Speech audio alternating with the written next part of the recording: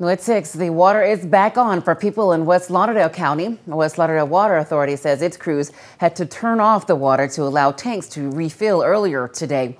WAAY 31's Maddie McCaffrey joins us live from Lauderdale County with more on the situation. Nikel, people who live in West Lauderdale County, they were without water for more than eight hours today, and we just got word that the water is now back on after crews spent all day refilling up the tank.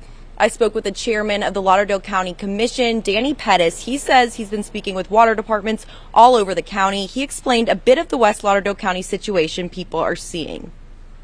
Levels really went down in one of the tanks. Uh, I think they had to turn off from the trace up to the Tennessee state line.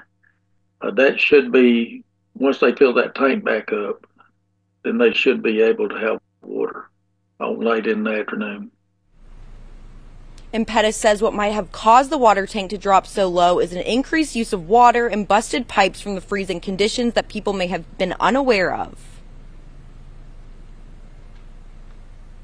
Uh, I've talked to uh, all four county water departments, and all of them are wanting people to not only conserve water, but to, if they can, safely get to their meter have all the water shut off and get to the meter and see is the little triangle thing moving pretty fast. If it is, that probably means they have a leak and a busted pipe somewhere.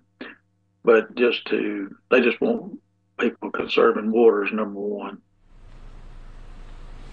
Pettis recommends everyone in Lauderdale County to try and conserve water. As Taylor mentioned, definitely try to drip your faucets once the temperatures drop below freezing again. Reporting live in Lauderdale County with coverage you can count on, Maddie McCaffrey, WAAY 31 News.